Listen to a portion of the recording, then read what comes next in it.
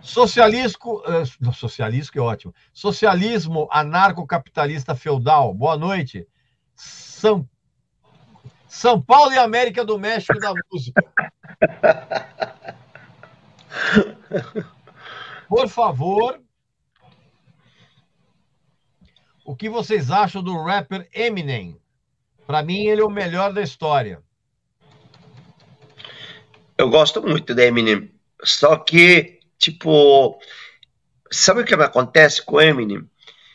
É, quando, depois que você escuta, por exemplo, dois álbuns seguidos, já acha a mesma coisa.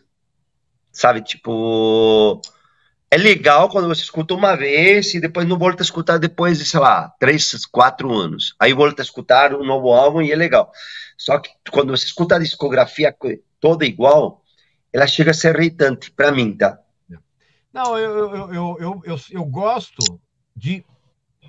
Cada álbum do Eminem tem duas ou três canções muito boas. O resto é meio entediante mesmo.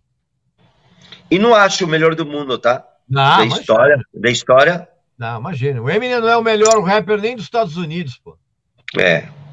Ou pode ser popular. Foi muito popular, mas não como o melhor.